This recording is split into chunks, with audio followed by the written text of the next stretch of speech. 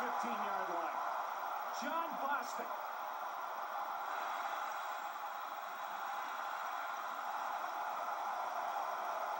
Tip for tap.